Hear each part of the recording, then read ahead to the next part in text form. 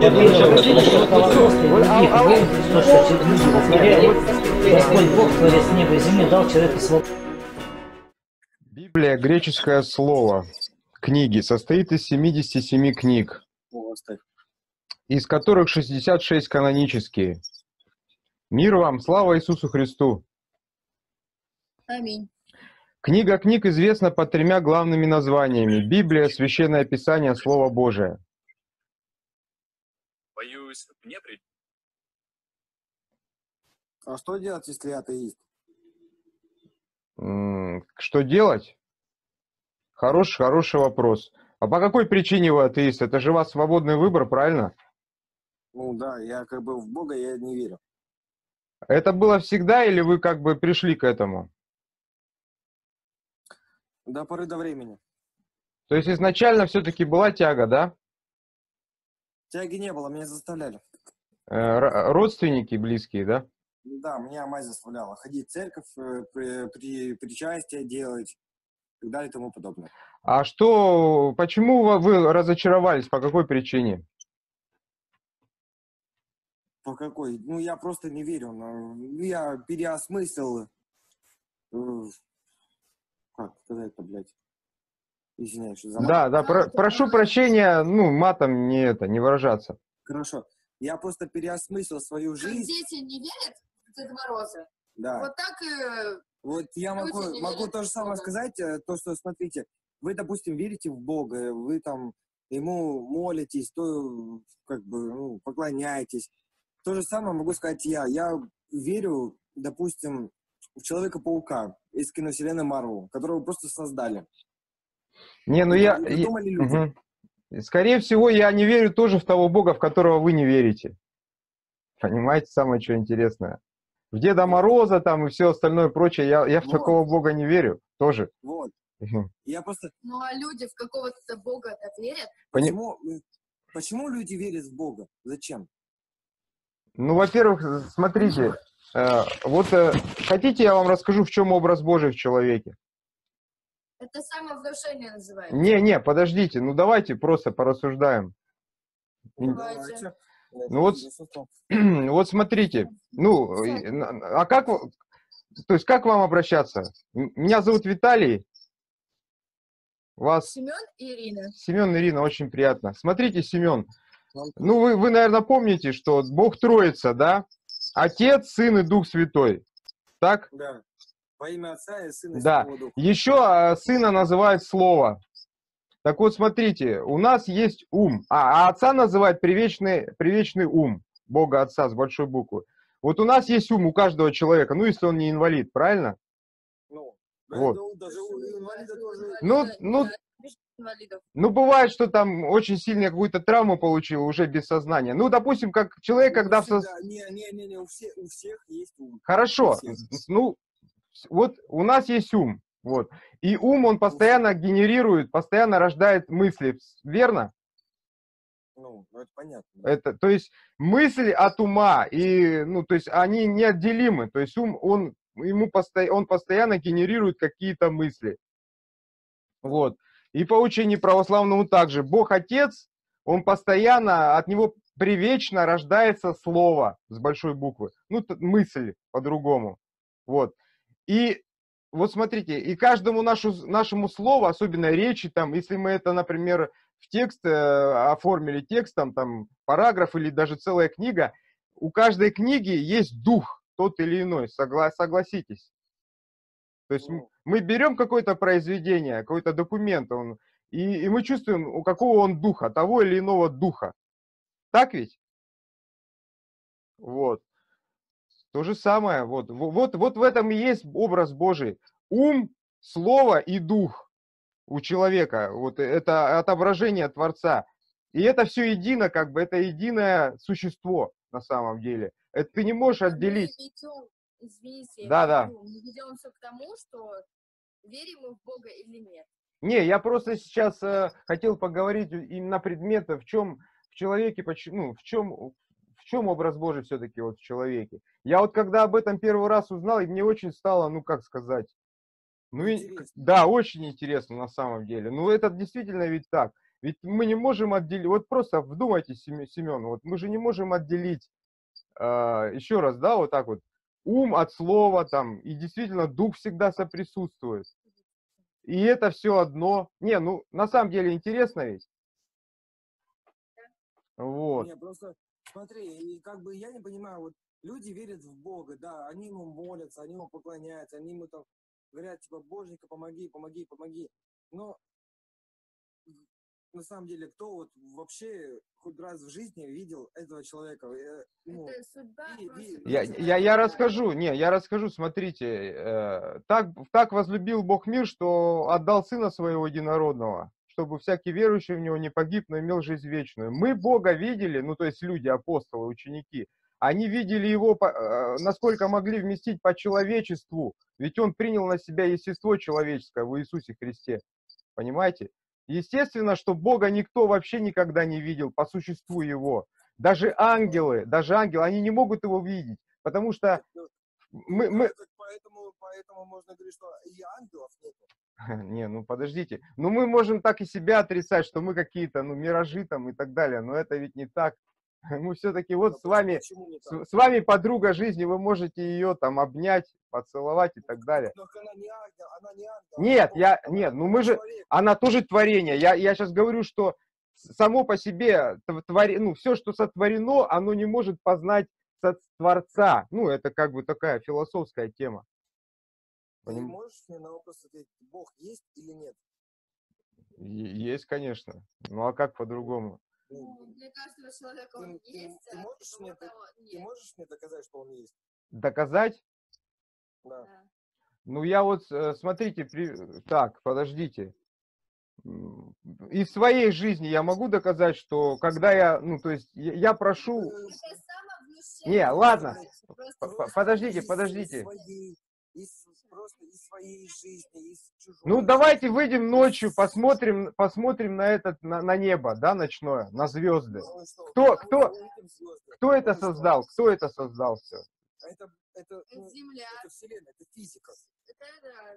А, Это физика, это химия, это же не Бог это атомы. это- Подождите, ну это вот не у, у каждой Это вещи... Подождите. Семен, Семен, у каждой вещи есть творец, правильно?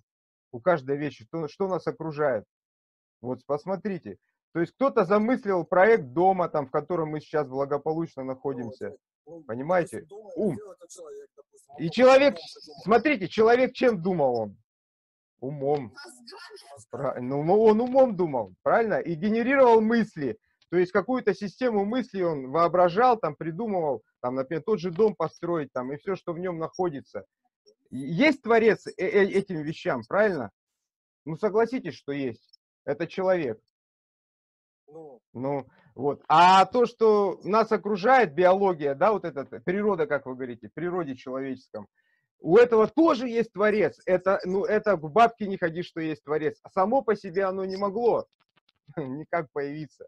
То есть кто-то, кто-то с большой буквы, ум, великий ум, разум, э, замыслил это и создал. Но это очевидно, Семен. Тут, тут никак с этим не... не- Ну, не у не, не, нифига. Я могу с другой стороны подойти. Давайте. Я могу сказать, э, типа, ну вот было, ни хера не было. Вот просто вот ничего не было. Ни космоса, ни планет, вообще ничего. Потом просто, блин, ну, атомы, атомы, просто молекулы. Один столкнулся, второй столкнулся, там третий, пятый, десятый, там, тым, пум, пум, взрыв, все. Ну, ну, а теперь, я не, я вас понимаю, Семен. Ну, а теперь приложите это к тому, что вот а- а- а- один, один кирпичик столкнулся там, или даже как кирпич, чтобы создать. Оди- одна песчинка столкнулась, с другой песчинкой столкнулась. И как-то таким необычайным образом появился кирпич. Сколько надо ждать э, по времени, чтобы это произошло? Но это нереально. Вот, но это нереально, понимаете? Почему Чтоб нереально? кирпич вот так вот случайным образом, честные ученые говорят, что это просто, ну, это нереально, понимаете? Это Ну, реально. ну как это реально? Ну вы докажите мне, что это реально. Ну, а ты докажи мне, что Бог существует. Бог, да. Не, а я говорю, что Бог... су- существует. Нет, мы... Подождите, мы... сна- Не, подождите, мы сначала с вами... Мы сейчас не пойдем. Не, ну, не, мы, у нас нормальный, здоровый, как бы, здоровая дискуссия. Не- Подождите, мы-. Самовнушение. А что есть самовнушение? Ладно, давайте на эту тему порассуждаем. Ну, допустим, Самовнушение, все. люди верят Тебе, Бога, допустим, тебе, допустим, плохо, ты, доп- ты, ты начинаешь себе там внушать, Боженька, помоги мне, пожалуйста. да, боженька, бойка, мне плохо, плохо, ты начинаешь на себя нагнетать, нагнетать, и ты начинаешь себе проблемы Тебе создавать. становится Да. лучше, лучше. Нет, Ой, мне Боженька помог. Не, подождите, ребят, ну не, я, я- хорошо, да, допустим, это так. Э, давайте такая другой вопрос вам задам. В чем смысл жизни тогда для вас? Вот для вас, не, не, давайте просто интересно. В чем смысл жизни для вас? жизни Да, жить, жить для себя и для любимого человека. для... Все. а, Не, подождите, а, а, цели не, я- хорошо, хорошо, я принимаю. Смотрите, жить для себя и для любимого человека. Э, ну, то есть, э, правильно я понимаю, что ну, нужно любить себя, вы считаете? Нет, себя любить не надо. И, и любить, да, вот. Только себя нужно Не, любить. не, смотрите, любить себя и, и, и любить ближнего как самого себя. Здравая идея. Согласны с этим? Конечно, нет, тут, э, не- не. Ну я тоже за это. И Господь, э, Господь говорит, что возлюби ближнего своего как самого себя. Ну это, это же хорошо, согласитесь. Это круто. Ну, вот. Просто я не понимаю, почему люди верят в Бога. Его никто никогда вообще в жизни ни разу не видел. Я Он, не, Семен, Семен, смотрите, ну он явил себя в Иисусе Христе. Понимаете? Ну, Самое-то интересное. Я могу тоже себя явить. Нет, подождите, ну Иисус Христос, он же не просто был пророк там, он, он, он ка- такие дела делал, которые никто вообще никогда не делал. Воскрешал мертвых. Ну кто от века воскресил мертвого? Да он не воскрешал мертвых. Ну как это вы? А почему вы Этого так? не было. Ну, Этого не было. нет, нет, это, это уже исторические факты, ребят. Ребят. Этого не было. Иосиф Флавий, даже иудеи, вот знаете иудеев, которые, против, ну, которые противников Христа, они, да- они даже утверждают, которые распяли его, они даже утверждают, что да, но они говорят, что он это делал э, маг- магией там, с помощью бе- бесов, как бы. А что, если наша история вся переписана? Ну что значит переписано? Ну, много, просто переписана. многое история, вот то, что вот часть То, что нам они говорят, переписаны. То, что нам говорят э, в учебниках по школе, э, в Библии, э, по, теле- Переписано. по телевизору, просто оно переписано. Ну то есть, смотрите, я, я вас понял, э, как сказать, э, ва- вашу мысль. А, возлюбить ближнего как самого себя и себя и себя и ближнего как себя. Давайте все-таки вернемся к тому, в чем мы едины, и от этого будем отталкиваться. Просто мне интересно. Ну, хорошо. Вот о родителях сказали.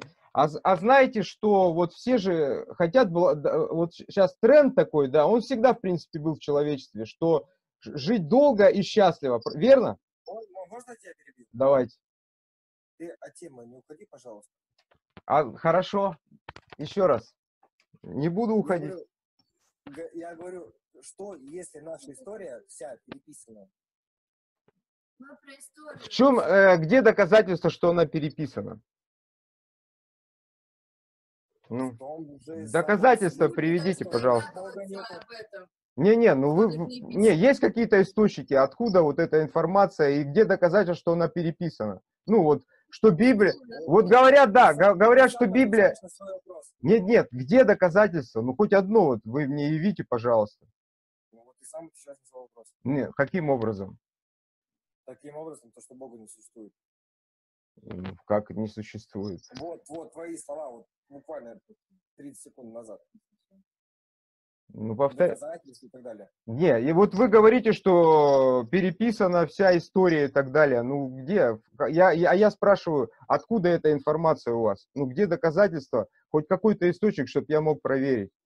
Вы можете явить? Ну, блядь, ну ты это точно не проверишь, потому что ты, как бы, ну, это есть в Гугле, да, там пишут, то, что может быть история переписана. Потому что, ну, не каждый, ну, ну, не может человек полностью все знать, и откуда Конечно. Он произошел, и, и- и Просто смотрите, да, вот э, просто видите э, это вот человек, почему вот он про, э, как сказать, отвергает Бога, вот как- по какой причине? Как вы думаете? Потому что он просто... Потому что это Он- Он, в самовнушение него, он сомневается в нем. Ну, он сомневается в нем. Хорошо. Он Я не скажу не грубо, но кто он такой, чтобы вот, ой, ой, ой, блин, он мне помог. Не, ну подождите, ну, ну кто? Вот, а, а вот, больше помогли, не, ну вот, смотри, ага. ты, допустим, там врачи, те же самые, они спа- спасают больного ребенка, у которого, допустим, там э, опухоль мозга, там рак мозга. Они ему делают операцию на головном мозге, они там вырезают ему, делают там. Мгм. все, они там операцию делают там, не знаю, 18 часов. В итоге что говорят родители этого ребенка? Слава Богу, что мне Господь, Гос- Господь Бог помог, а не врачи. Мгм. Не то, что это врачи сделали, а Господь Бог. Ну, Господь Бог ру- руками врачей, вот так вот они обычно думают. Ну, разумный человек. То есть он по- положил на, на сердце, так и все так сложилось хорошо. То есть и рука у него не дрогнула, он Это- ровно обре- а- обрезал. врачи сделали, Ну, хорошо, врачи, врачи. А, давайте, давайте, вот я хочу все-таки, чтобы ну, мы, мы расстались на, на, на, ну, как сказать, на мирно и в пришли к каким-то к общим знаменателям. Можно я э, а- вот об отношениях с родителями вам из Библии несколько строк прочту, и потом от, от вас об- обратную связь хочу услышать. Можно? Хорошо, Да. сейчас. Чуть-чуть. Подождите, я открою. Да, да, да, нужное место. Вот. Так. А у вас дома Библия есть? Нет. Нет? Мгм.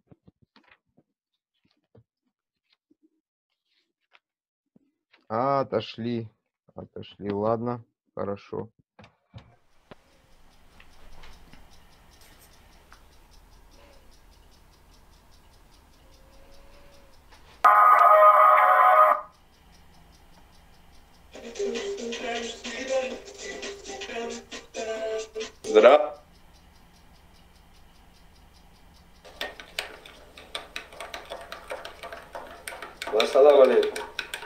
Мир вам. Чем занимаетесь? Православный христианин. Ищу с- людей, с кем поговорить о Боге, о спасении души, о вечности. А вот поговорить о Боге, я согласен, хорошо. Давай поговорим, если ты хочешь. Вот смотри, как ты считаешь, некоторые люди говорят, что они атеисты, они придерживаются такого мнения, что если Бога нет, ну, как бы, если я его не видел, значит его нет. Как ты думаешь, это правильно? Но вообще в Библии так написано. Сказал безумец в сердце своем, нет Бога. А почему? А там дальше идет ответ. Они развратились, совершили гнусные преступления. Потому что люди не, не стремятся идти к свету, а для... потому что если он признает владычество Бога Создателя, ему придется осознать, что надо исполнять его святые заповеди, а за это потом придется еще и отвечать, если что-то где-то грешил, не так делал. И человек вот так вот себя ставит. То есть он- Вообще, вот я э, больше всего пример людям привожу, например, я говорю, вот вы говорите, Бога не видел никто никогда. Да, так оно и есть. Только написано, что Христос, когда пришел на землю, в нем явился именно Господь Бог. А наш разум человеческий тоже его не видно. Что его сейчас отрицать? Это, во-первых, это глупость. Мы не видим Wi-Fi, Bluetooth, мы Конечно. не видим эмоций, чувств, любви, страха. Мы их не видим, но они есть, понимаешь? Аминь. А ты из какого города? Барнаул, Алтайский край. Ага. Ну а ты как вообще при церкви или так чисто от себя? Я православный христианин, простой мирянин. То есть э, в храм хожу субботу, воскресенье. То есть я, не- я это не священник. Обычный мирянин, который э, живет в миру, работает своими руками. А ты всегда этим занимался? Нет, я 26 лет осознанно пришел к Богу именно. Осознанно встал на колени, покаялся в своих грехах. Мне сейчас 41 год. 15 лет тому назад я пришел. А что, ж- что тебя постигло? Вот, что, какое событие в твоей жизни случилось, что ты вот, вот у тебя вот так произошло? Ну вообще это все было подготовительно, потому что о поиске смысла человеческой жизни я начал задумываться с 17 лет. То есть вообще для чего я живу здесь на земле? Потому что вроде бы казалось все есть, здоровье, все есть, а в душе нету вот этого, какая-то пустота. Вот это особенно блуд, вот это пьянство, там другие какие-то грехи. Они всегда меня внутри как бы угнетали. Я хоть их совершал, потому что избавиться от них я не мог без Бога. Вот. А потом уже меня побудило тому, что 26 лет я встретился с одними православными братьями, они мне дали в руку вот святую Библию. В руки. Вот она у меня сейчас. Настольная книга моя. И через нее как раз я все узнал, на все свои вопросы ответы. И вот эта книга меня изменила. То есть я вот осознанно встал в 26 лет перед Богом, покаял в своих грехах. Все, что у меня было в прошлой жизни. И Господь меня избавил в раз. То есть я перестал э, пить, перестал блудить и другие какие-либо грехи делать. Пить, э, например, курить я не курил, материться я не матерился. Меня Господь спас от этого. Хотя друзья сплошь и рядом это все делали.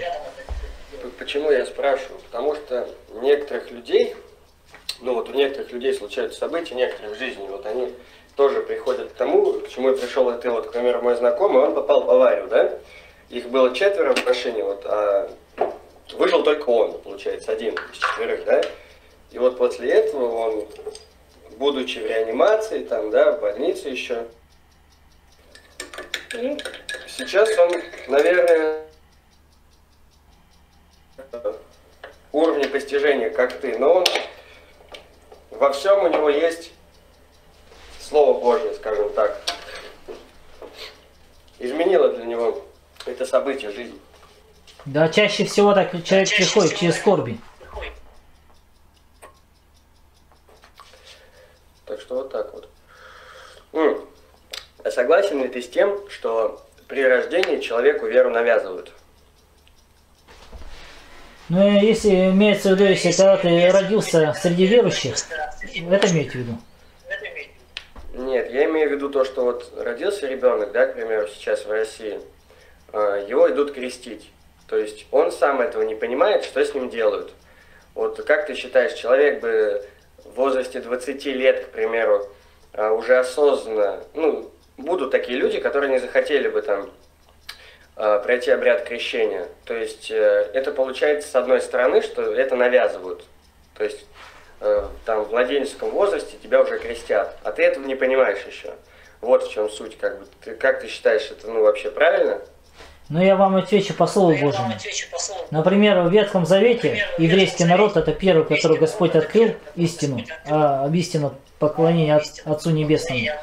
У них было, что младенцев обрезывали на восьмой день. Он тогда тоже не, это не понимал.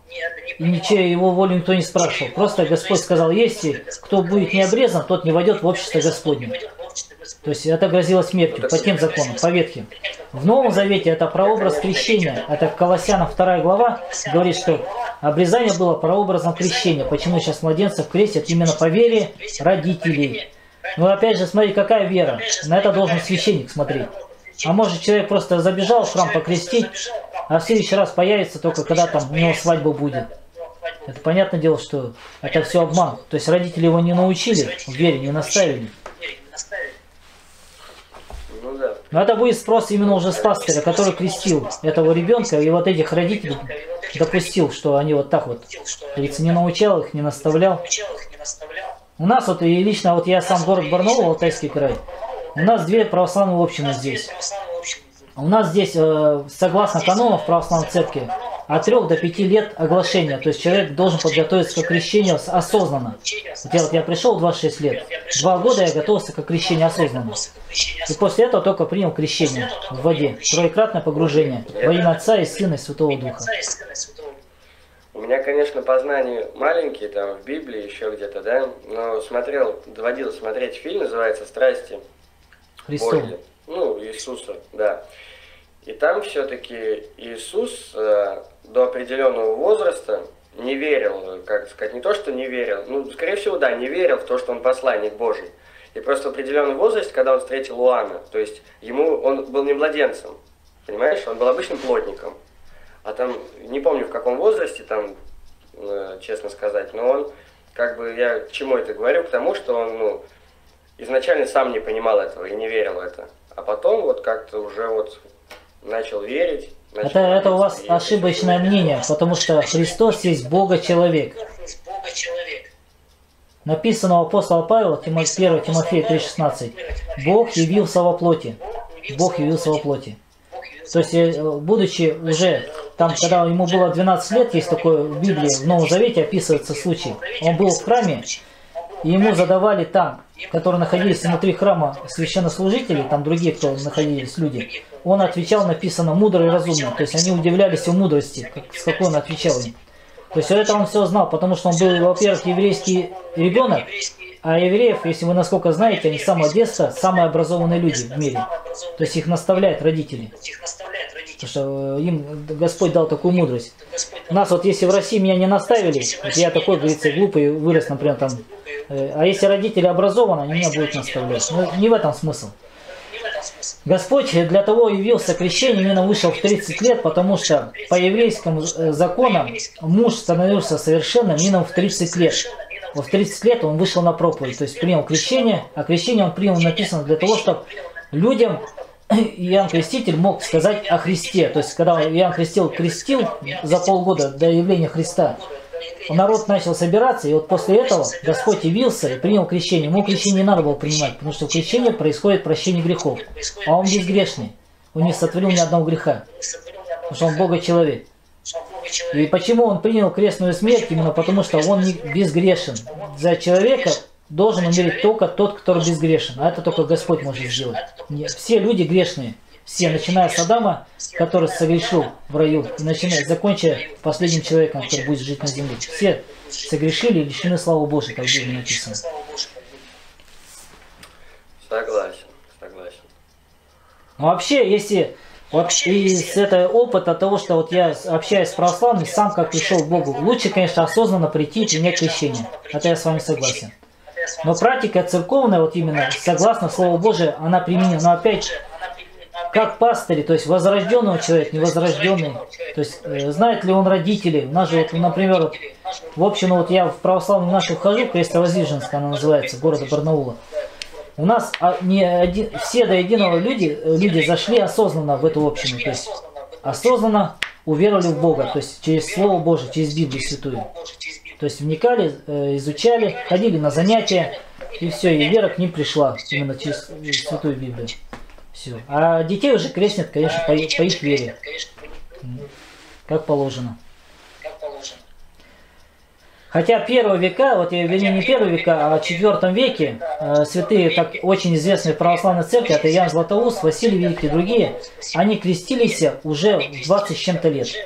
То есть не в момент, когда они родились, а именно осознанно, когда пришли сами к вере. И тогда приняли крещение.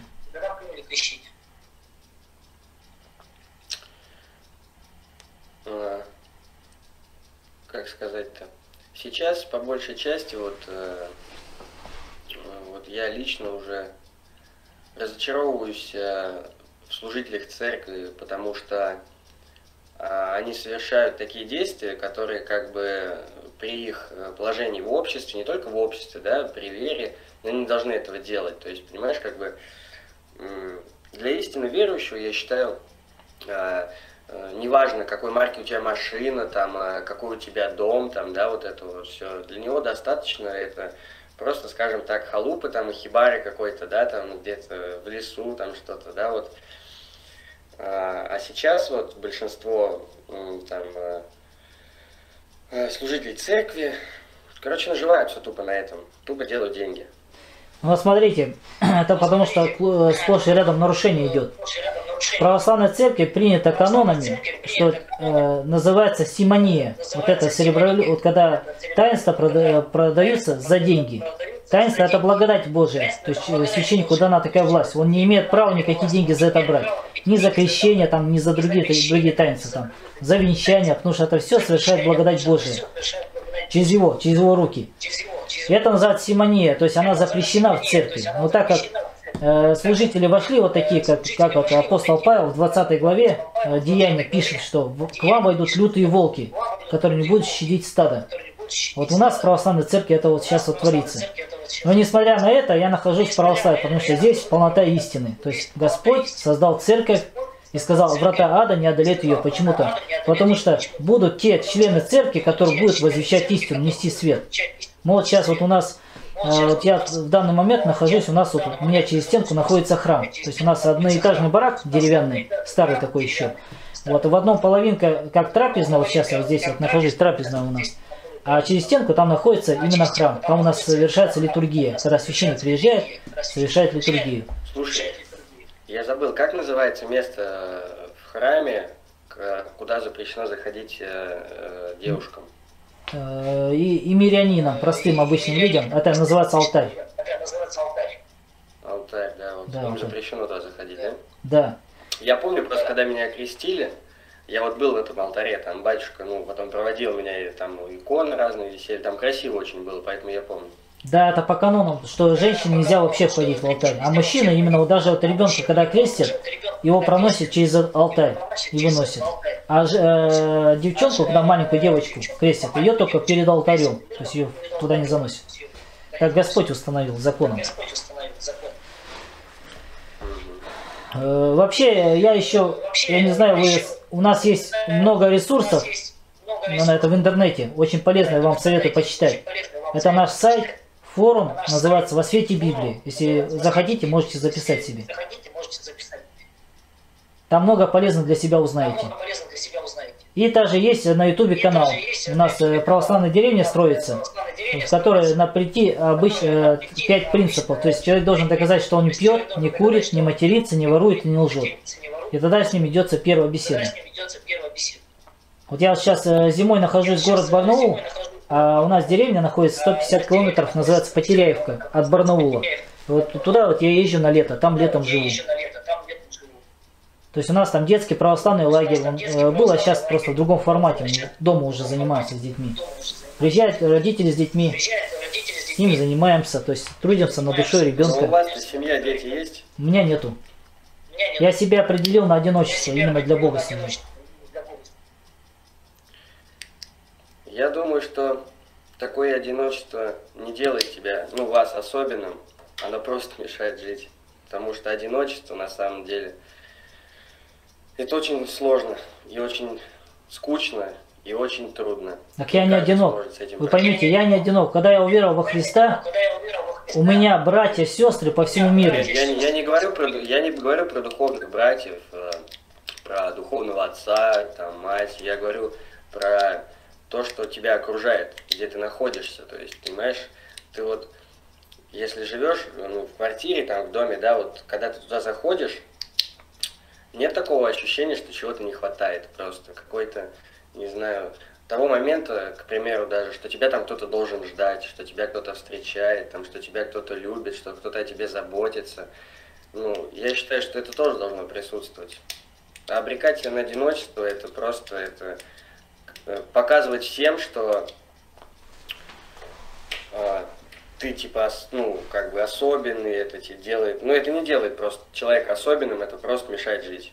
Это вы так думаете. На Потому самом что, ну, деле, ну, многие так думают, даже, даже вот сейчас, э, буквально там полгода назад у меня была такая ситуация в жизни, к примеру, да, я был в отношениях с девушкой 5 лет, 5 лет, то есть, да, 5 лет уже много, многое, что успели пройти, там, разные испытания, и вот не виделись год, потом после двух месяцев совместной жизни она говорит, что не любит, там, ну и вот уходит от меня. И вот, а, когда я был с ней в отношениях, да, вот, у меня не было каких-то подруг, да, она, ну, мне хватало одного человека, вот ее, то есть, к примеру. Хватало ее, не было каких-то подруг, там, ну, друзей, близких, да, мне достаточно было одного человека, он, ну, для меня идеалом был. А она вот просто, говорит, разлюбила, и все, и ушла. И тогда я тоже вот тупо не знал, что делать. Вот это больно, конечно, очень. Очень больно. И тогда вот я тоже так же думаю, блин, а зачем вот мне кто-то еще нужен? Вот, к примеру, будет у меня в будущем там девушка, да, еще. А вот если вот ты, ну, вновь полюбишь, там, да, э, тебя полюбят, и через время опять это у кого-то пройдет, и кто-то один будет страдать. а зачем нужно мучить человека? Вот я думал так, то есть... А потом я понял, что если нужного человека просто встретить в своей жизни, вот нужного, который, который на самом деле там будет с тобой э, не из-за того, что какая у тебя квартира, там, какая у тебя машина, там, сколько у тебя денег, а просто который будет тебя любить там и иметь какие-то чувства к тебе, да. И вот с ней ты можешь прожить всю жизнь, то есть. А у вас девушка, важно, а у вас если- девушка верующая была? Ой, сначала, сначала э, там года четыре назад говорила нет, мол, ну вот такой версии тоже придерживалась. Потом я ей объяснил, что как бы это неправильно. Ну, версия, я имею в виду то, что типа, если я не видел его, значит его нет. Потом я ей объяснил, что все это глупость, э, ну, и она начала как-то верить, да, начала носить крест. Крест ей с Иерусалима привезли, там, такой деревянный. Она начала его носить. Ну и в итоге, м, в итоге получается как? Получается, ну, получилось вот так, что она говорит, у меня пропали те чувства, я тебя разлюбила. И это было честно, то есть, ну, не появился другой человек, который ей нравится, а просто, просто вот так вот ушла. Вот. А я вот страдал, просто страдал, не знал, что мне делать. Вот. Это значит, что у, у человека не, значит, что у вас, э, у этой девушки не было вообще веры. Даже она пыталась что-то вам, как говорится, как бы, ну, как сказать, поддержать вас, что ли, в этом смысле. Вообще ни крест, э, ничто это не влияет, если ты, написано в Евангелии, не родишься свыше.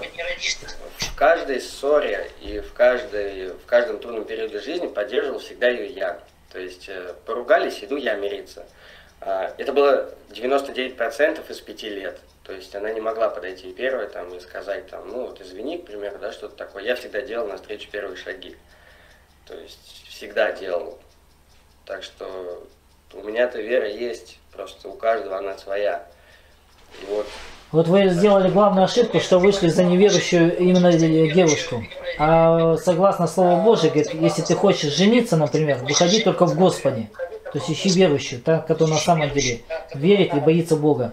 Тогда она будет э, почитать тебя как главу семьи, а не то, что там ты должен прийти 99% не каяться. Она должна была тоже, это говорится, помогать, э, раскаяться, если он что-то не так делает. Понимаете, я, я ждал этого просто. Я на самом деле ждал этого, что когда-то она начнет понимать и осознавать, что э, прощение и извинение, покаяние это есть ну, э, душевные качества твои настоящие. То есть там как бы. Но этого не случилось просто. Случилось так, что мы вообще разошлись. Так что как-то вот так. Может даже и к лучшему. Господь же, сами знаете, у него все промыслительно. Господь знает и избавляет нас, бывает, от ненужного. А, а может, наоборот, через это вас Господь к себе хочет приблизить. Чтобы вы к Нему начали более, как говорится, усердно молиться, больше вникать в заповеди Его святые. Я вот, например, тоже, я вам сейчас сказал, я определил себя на одиночество, на самом деле Господь меня определил. То есть у меня были попытки женитьбы, но Господь так все устроял, что все расходилось. То есть у меня никакие, нигде не со- э, брачные союзы не совершались. Потому э, я понял, Господь избрал меня именно для того, чтобы я благовествовал. Потому что, когда ты живешь один, ты для Господа можешь больше сделать, нежели когда ты женатый. Что ты, когда живешь один, ты где-то угождаешь э, для Господа. Если ты, у тебя жена есть, ты угождаешь жене.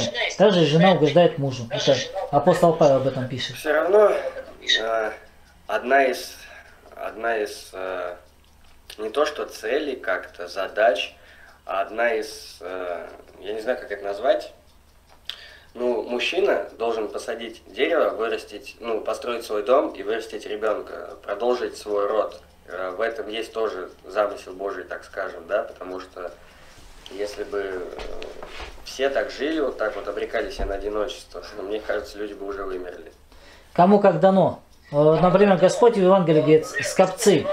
Кто-то сделался скопцом от человека, кто-то сделал сам себя скопцом.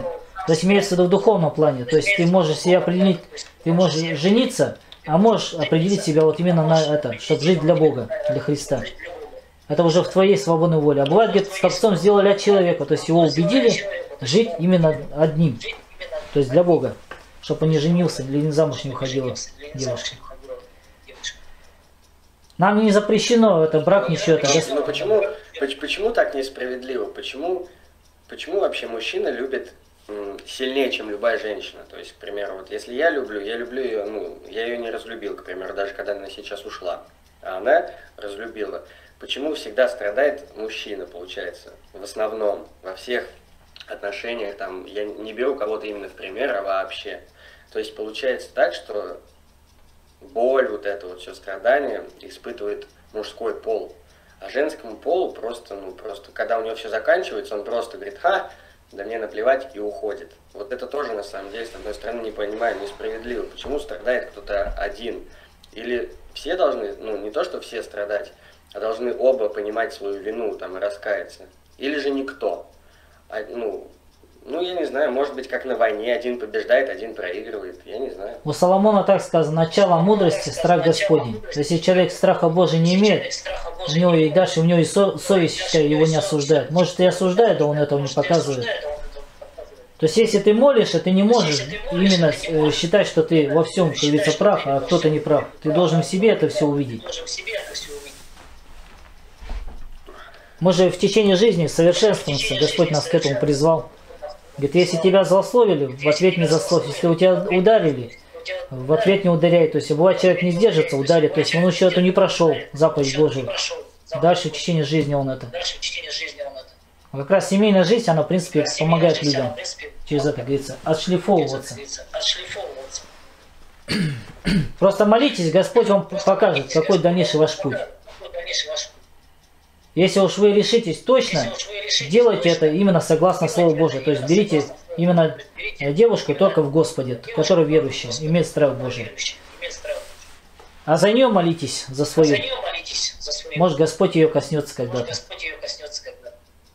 Да понимаете, что боюсь, ну чего я боюсь? Боюсь того, что просто... А если случится так, что... Ну, во-первых, в наше время такую девушку найти очень тяжело, когда ты даже будешь искать. А когда ты вообще ничего не будешь искать, то само это к тебе не придет, как говорится, на Бога надейся, а сам не плашай. То есть сам ты должен что-то делать. А вот если вот сейчас, к примеру, мне там 22, да, пройдет еще 10 лет, мне уже 32, а в наше время, в 32 года, как бы, ну кому ты уже по факту нужен. Ты уже не так молод, там, допустим, у тебя все есть, ну, я просто боюсь, что ну, это не произойдет, скажем вот так вот. Здесь полностью надо доверяться Богу. Если вы верующие, вы знаете, что Бог всеми управляет, то есть нашей, именно нашей судьбой, нашей жизнью, надо полностью довериться Богу. Господи, веди меня как тебе угодно, и Господь и вас поведет. Вот для этого вы должны читать Слово Божие, вникать в него, и Господь вам укажет путь. Главное это стоит перед человеком спасение души его бессмертной. Это первая, наиглавнейшая задача. А второстепенно это уже семья, работа и там другие, что мы чем занимаемся, какими делами. Первое это спасение души своей. Согласен, согласен. Ну ладно, Бог помощь вам. Вас как звать-то? Что? Вас как звать-то? Меня Владимир зовут, а вас как? Меня Кирилл зовут. А, Кирилл. Ну что, Кирилл, наверное, будем прощаться. Если желание будет, заходите на наши ресурсы. Много полезного для себя найдете. Во свете Библии Игнатий Лапкин. Четыре слова введите в интернете и все это найдете для себя. Может Я что-то... записал, да. Все, Ну все, да, с Богом. Спаси Христос вас. Хорошо. Удачи вам, спасибо за Давайте. За вас я буду молиться. Бог помощь вам.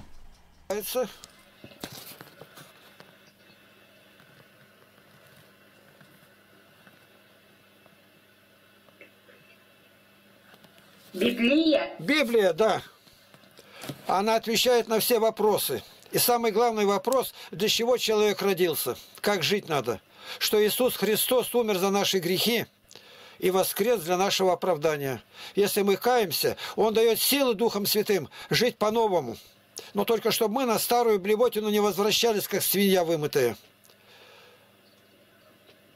Э, Это очень, Да. очень серьезно. Для Бога жить, это у тебя, во-первых, жизнь бывает интересная. Ты и смерти не страшишься. Мне 81 год, и сколько пережить пришлось за Слово Божие. Нас гоняли, я только в 87 году освободился. Политзаключенных, в политическую статью загоняли. И ни на кого не А обижаемся. вот я баш- башкирка. Меня можно вот тоже Можно. А, а в каком городе Молиться. живете? В каком городе? Казань? в Башкирии? А, Башкирия? А у вас какой там город-то? Э, э, нет, это Элис-то не у вас. Уфа? Уфа? В Уфе находятся, я подарил им, Да, да, Уфе. в Уфе 38 томов моих книг. Лапкин Игнатий. Таких книг больше нигде нету. А Вы- вот я татарка, можно мне молиться, да? Можно, конечно. Вы там православную церковь где узнаете, ну и сходите. Познакомьтесь, чтобы Хорошо. священник на исповедь сходить. Мы живем один раз, сестра, один раз. А с чем мы туда предстанем? Что тут делается в рулетке? Половина мужиков раздеты, процентов 85 Да, мусульмане. бестолковые. Я говорю, вообще не, не Ну, это, надо. это вот. ужасно даже, ужасно. Маленькие дети, как вот бесенята, кричат, визжат. Да. Еще маленькие дети сидят. А мы строим э, православную деревню. У нас нельзя лгать, пить, курить, материться и воровать. И таких нету никого. Да, у нас тоже так же. Я знаю, мы там проезжали. Там в библиотеке очень хорошая библиотекарь, они даже на улице нас провожать вышли. Я в 650 Ага. городов подарил свои книги по комплекту. 38 томов. Угу. Если у вас есть духовный вопрос о спасении души, о вечности, вот можете задать. А если пожелаете встретиться позже, вы запомните, меня зовут Игнатий Лапкин. Где-то запишите себе. И вы по скайпу меня найдете. Игнатий Лапкин.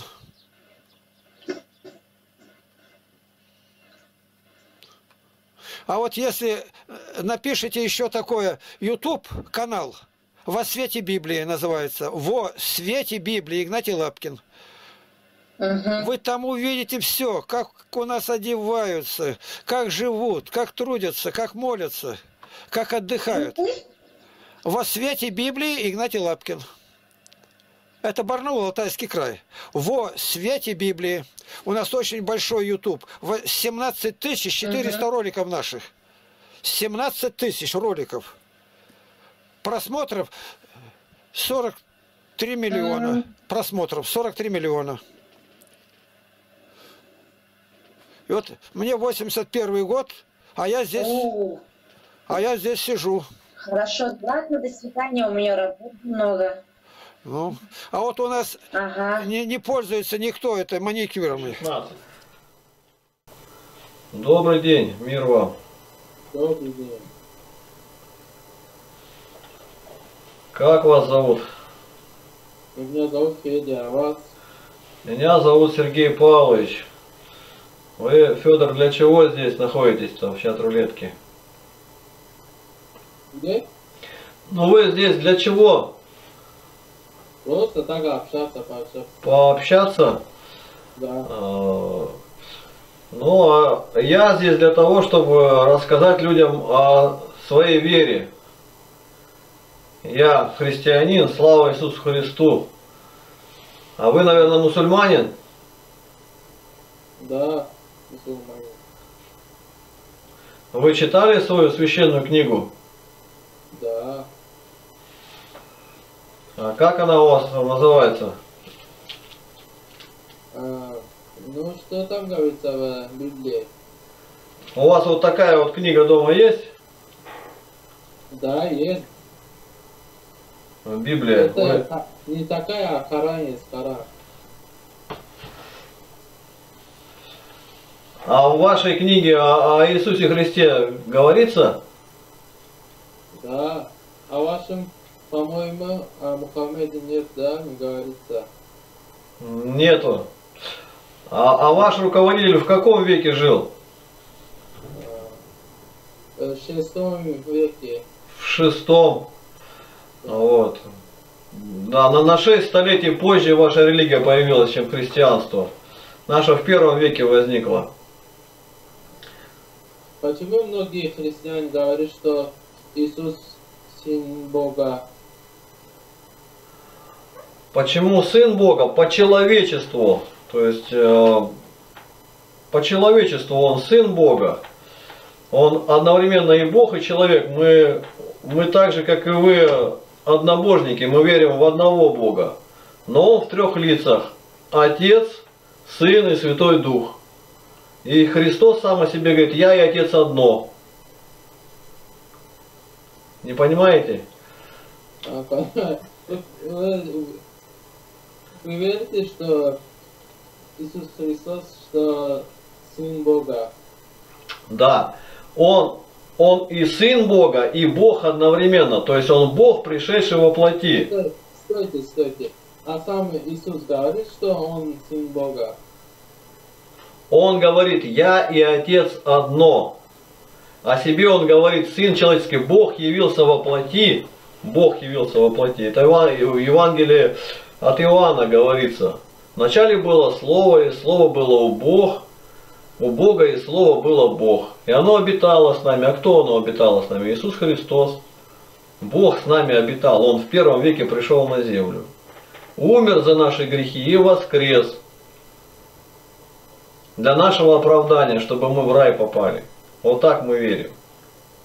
Э, Он умер, точно, да? Да. Его не, его не украли. Это этим, которые его стерегли, дали денег, чтобы они наврали, что его украли. Они на самом деле обманули всех, им заплатили. Он воскрес. Что, что он не умер, а просто поднялся и его дух в небо. Понимаете? Не, не, нет, он умер и воскрес. Воскрес, мы верим. То есть умер. А если он не воскрес, то он тщетна вера ваша написано. Напрасно. Надо, чтобы за ваши грехи кто-то умер. Вы же согрешаете. Вы же верите, что грешников Бог не, не берет в рай. А у нас не так. Если совершает грех, он сам оплатит, оплатит за свои грехи. Но чем? Но Бог сам накажет в этом мире и в другом. Понимаете? Ну, к примеру, э, вот э, ну, кто-то убил твоего родственника, он совершил грех, а Бог его не наказывает в этом жизни, как?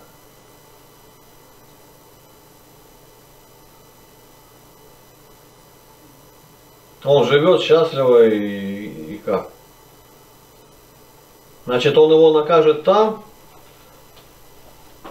Да. Ну, как у нас в этом 21 веке, ну, суд же наказывает. ну, суд наказывает. Да? Не так ли? Ну, он отнял жизнь, например, да, человек, этот убийца, а ему дали 10 лет. Через 10 лет он отсидел, вышел, а тот э, того-то уже не вернуть, которого он убил. Ну, разве это справедливо? Ну, не знаю. Не знаешь. Вот. Не знаешь. А я вот тебе скажу, что возмездие за грех смерть, а дар Божий жизни во Христе Иисусе Господе нашим. То есть, если за этого убийцу он покается и больше не будет убивать никогда, принесет покаяние перед Богом, перед Иисусом Христом, Бог его простит. Но он должен поверить, что за него, за его грех убийства умер Христос. То есть, если он совершил грех, он должен умереть. Умереть, Бог его должен наказать, он его должен убить за грех. Возмездие за грех – смерть. Это у нас в послании римлянам э, говорится. Ну Вот. И Иисус дарует, дарует прощение, чтобы люди каялись, и не, не, не смотрели греховное, как здесь. Сейчас рулетка – это самое поганое место на земле. Вот Да. с вами я согласен вот в этом. Так что берегите себя, слушайтесь родителей, когда они говорят вам правильно, по-хорошему. Идешь из школы, никому не заходи, потому что всякая беда может быть. Береги себя. К, девоч- де- к девочкам пальцем не прикасайся. У вас умеют беречь женский пол. А? Да. Так что будьте внимательны. Если вы хотите узнать у нас, у нас очень большой YouTube канал. У нас Как называете? во свете Библии. Запиши. Во свете Библии Игнатий Лапкин. Это я, Игнатий Лапкин. Во, свете Библии. Я начальник детского лагеря был 45 лет. Вам будет очень интересно посмотреть, как у нас дети играют, работают. У нас каждое воскресенье на садях кататься, на лодках плавать. Мы строим православную деревню с нуля, где нельзя пить, курить, материться, воровать. Да. Ну вот можете зарядить во свете Библии Игнатий Лапкин. И вы зайдете на наш YouTube. YouTube очень большой. 17 400 роликов наших. Ой, блин. Только не ругайся, чтобы никак. Ни одному. Да. 14 тысяч. 17 400. Вот как. 17 400. Как называется это еще раз? Во свете Библии Игнатий Лапкин. Четыре слова. Напиши канал во свете Библии Игнатий Лапкин. Хорошо. Так, ну пока с вами, хлопцы, прощаемся. Да сохранит вас Господь от всякого зла. Берегите себя с Богом. Там другая жизнь. И все люди воскреснут. У них тоже в книге написано так. Чтобы любили друг, да, любили друг друга, не обижали, слушались родителей. Они, мусульмане, И умеют, уважали, и уважали старших. Мусульмане умеют хранить девственность у девушек. У них они не болтаются, как наши голые. В интернет, в этом здесь ни одной не увидишь мусульманки. Они за их голову отдают. У них надо поучиться только. Мы свидетельствуем о Христе, об Иисусе, что умер за наши грехи, и мы каемся, ходим в храм Божий. Мы не, он, у него книга есть, он сам знает, что там ему надо. У нас своя Библия, мы считаем. Считаем, верим, и у нас здесь хорошие отношения с мусульманами. У нас вражды никакой нету. Я живу в Барнауле, город, это Алтайский край. А у нас тут тоже девушка слушает, эти алтайцы. С Барнаула поприезжали. Да, вот так. Вы, если желаете, можете зайти на наш ка- видеоканал. У нас канал очень обширный. Он называется «Во свете Библии». Игнатий Лапкин, это я. «Во свете Библии» Игнатий Лапкин. У нас 17 400 роликов. Своих. Вы понимаете, что Это хорошо. что это за цифра? Хорошее движение. Да, мы строим с нуля православную деревню, где человек обещается, что не будет лгать, пить, курить, материться, воровать. У нас ходят девушки, как два платка, как хиджаб надеты, и платье до полу. У нас как вот голые ходят здесь, у нас такого нету. Мы очень Ну, строго, мы очень строго верим. Вот у нас была миссионерская поездка, и мы в Баку ночевали в доме Муллы. Мулла это у них как священник. Наши друзья. И там были у нас беседы, потом ходили мы в мечеть, мы молились по православному там. И в одной библиотеке там стрелкой написано «комната для намаза». Мы директора спросили, он говорит, «А, разговоров нету. Позвонил, открыли, мы разулись, у них разуваются. И там помолились, все засняли, просили мира Дагестану чтобы люди уверовали во Христа, Христос умер за нас, у нас очень хорошие отношения. Они у нас, я вот начальник детского лагеря был 45 лет, без помощи государства. Тысячи детей подняли. У меня и мусульмане, там и баптисты, мы-то православные. У нас разные люди были, разной национальности. По- Повторяю, без помощи государства. Вы знаете, как это трудно? Вот мы деревню строим, деревню, мы первым делом храм построили, школу государственную, дороги делаем за свой счет, хотя дороги делать должно государство. Мы не ругаем Путина, не ругаем Амана Тулеева, никого, ни в Чечне Рамзана Ахматовича, а ставим пример Рамзан Ахматович Кадыров, единственный руководитель региона, запретил аборты. Он герой России, а он мусульманин. Видишь как? Он очень смелый. Он смелый. Он, да, он настоящий герой. У меня от него похвальная грамота есть даже. Я был у него и подарил ему книги. У меня вышло из печати 38 томов книг. Я вел занятия в пяти университетах, 13 школах, в отделах милиции, в воинских частях. И люди просили издать это, как выглядит. Каждая книга 752 страницы. И Бог положил мне на сердце подарить книги библиотекам. И мы проехали из Барнаула до Владивостока, потом до Лиссабона, Португалия. Прошли Скандинавию, Прибалтику, Турцию и Север. 650 городов посетили, районных центров. И сделали подарок на 35 миллионов рублей. Ничего себе. Это Господь делает так. Это Бог делает. Человеку это нельзя сделать. Где мы ночевали? И с нами собака на строе и собака, немецкая овчарка. И после второй поездки она стала на выставке чемпионом России. По защитной караульной службы. Я сам когда-то занимался собаками в уголовном розыске. Ну и всю дорогу, когда остановимся, позанимаешься. Видите, когда с Богом, как интересно. И для верующего смерти нет, а только есть переход с одного состояния в другое. Иисус обещал, не покину и не оставлю. А без Бога что друг друга... Вот сейчас, смотрите, Шамсудинов-то, Равиль, Забайкалье-то, восьмерых застрелил? Ра- Расстрелял, да. Я... Да, расстрелял. А почему чего? А над ним издевались. Я в армии был на должности на большой. Я знаю, что это такое. Расстрелял, так еще скольких он ранил. Он говорит, я жалею, среди расстрелянных его два были близкие ему. Они... Ну, тут некогда было выбирать ему. Офицеров застрелил. Сейчас начинают говорить, а я их знаю.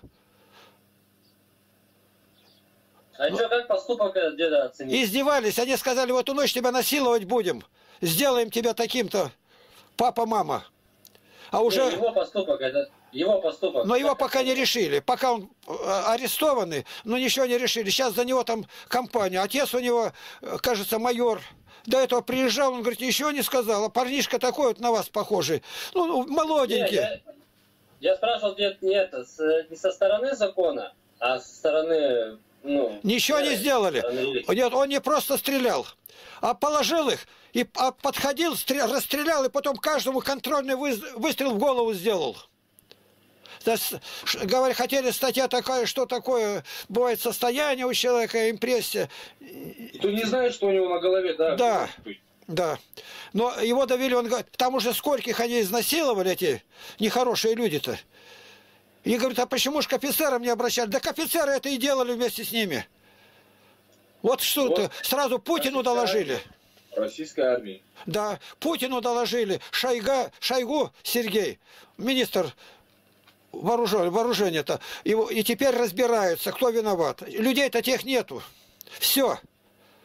А теперь будут думать как. У нас в армии тоже однажды было такое. Издевались, издевались. Он пошел по, по квартирам, нашел где кто. И есть, и расстрелял офицеров. Надо жить мирно, тихо.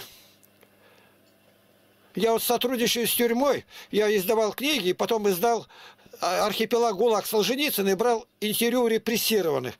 И ре- стихотворение против Ленина написал. И меня... Я пять тюрем прошел, освободился только в 87 году, а реабилитирован в 91-м. И поэтому я знаю этих людей, которые сидят, сотрудничаем с тюрьмой. И когда ну, по камерам идем, не заходим, а окошечко открывает, кормушка называется. И мы что можем, тем помогаем. В первую очередь я узнаю, кто мусульмане. В первую очередь им помогаем. А почему? Потому что он в чужом месте находится, ему очень тяжело, чтобы он не сломался. Видите, как мы нестандартно подходим. Ну, он спроси его, правильно, нет?